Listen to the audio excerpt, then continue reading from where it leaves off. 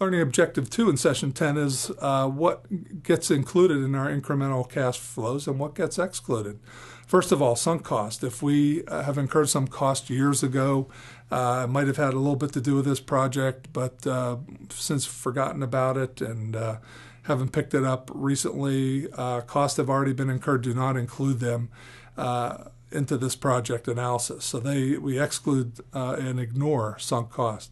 Opportunity cost, the cost uh, or the most valuable alternative given up if a particular investment is undertaken.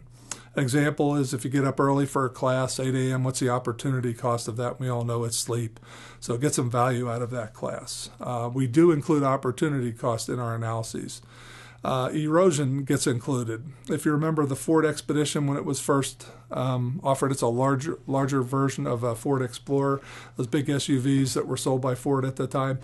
Um, if we would buy a Ford Expedition versus a Ford Explorer, then the Expedition uh, would erode sales of uh, sales of the Ford Explorer. So, cash flows of a new project that come at the expense of the firm's existing projects, we would include that erosion in our incremental cash flow analysis.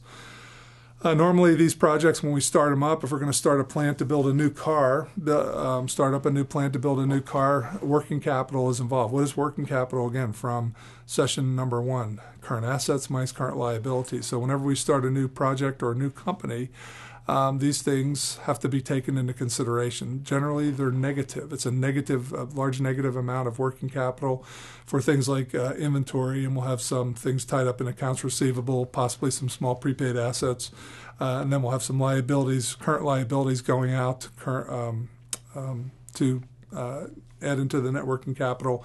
This will be things like accounts payable, uh, notes payable, perhaps wages payable, interest payable. So anytime you have a startup, you should include some uh, amounts for working capital. Um, we measure cash flow when it occurs, not when it accrues in an accounting sense. We're interested in after tax cash flows whenever we do this analysis. After tax incremental cash flows are relevant.